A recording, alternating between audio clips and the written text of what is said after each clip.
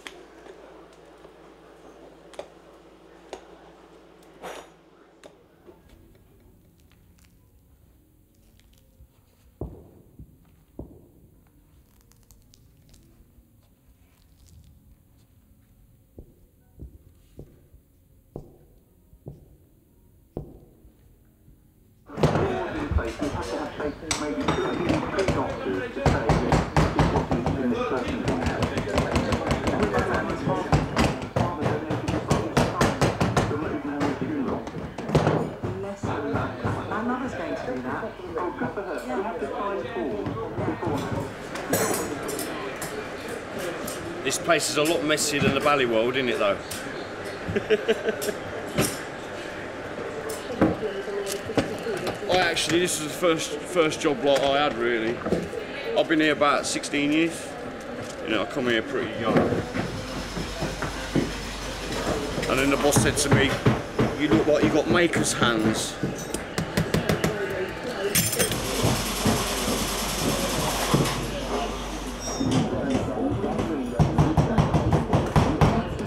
When you tell people I make ballet shoes, they laugh at you thinking like it's a little girly job and that, but you need big men doing this job, you know.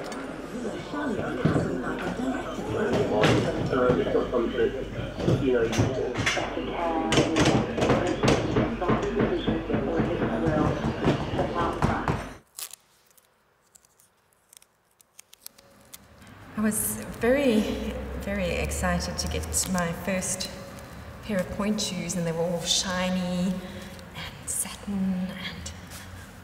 hard. And uh, I didn't know what to do to soften them or anything, and I put them on. And I felt something, but in the excitement, I, I just didn't want to remove them. And um, next thing, the, the blood was coming through the shoe. There was a spot of red, and it had come right, right through the shoe. Um, so I'd, I ruined my first pair, pair of pointe shoes because I had this big red blood mark on them. One, two, extend front, back, circle, make sure you hold it, put the heel down, back on it, clear, back on it, close, without changing legs, just clear on it back onto the left leg, two, one,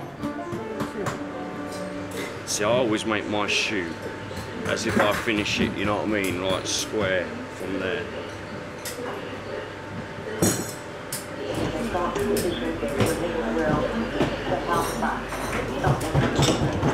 I actually go for the comfortable of the ballerina because it's common sense, you know. If you go like that on your toe and you've got a thing there and it's like sharp, they're going to get like a cut there, you know, right there and that. So I make it a little bit soft. So when they're going like that, it's it's nice and soft, you know, for them to.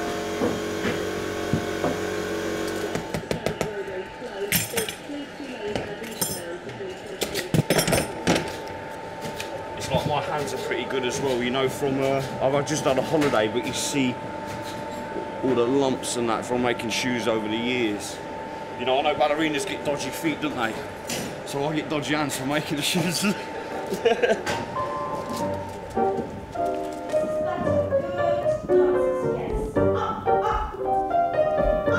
get trained into a certain way of thinking and, and it just becomes your reality and it's, it's what you know, it's all you know. So get those bodies in, lock and grow.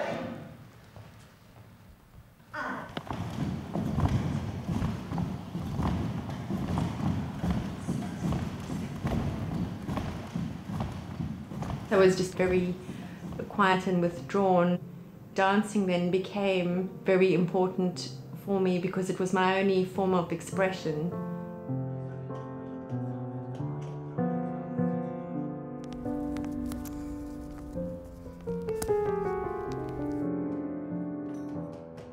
We just trained for hours and hours and hours.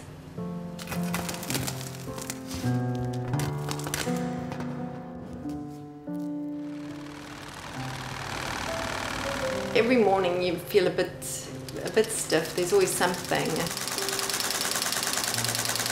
They said, well, we're going to break you to make you.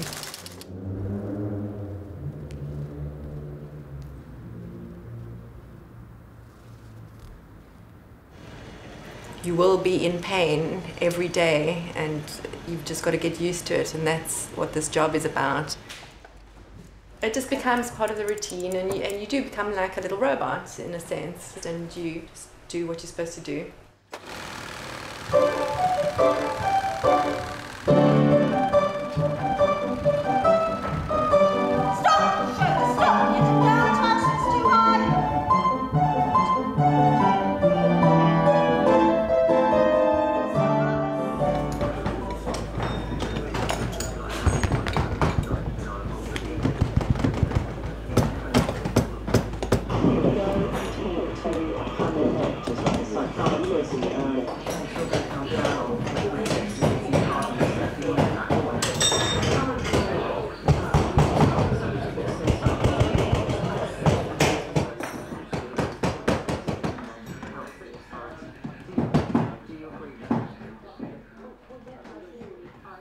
Probably thought about quitting every day. Somehow that obsession, it is an obsession. You, know, you become totally obsessed with dance and obsessed with ballet, and that somehow keeps you there despite all the negatives. And there is that hope that you will get that opportunity for self expression eventually. I wanted to let you know that you have been an initial part of my career, and I honestly don't think I would have been able to dance the way I have if it weren't for you and your great shoes. Thank you, and thank you for doing a wonderful part of my career. I plan to wear them until my day I retire. That takes quite a few years of really finding the right shoe.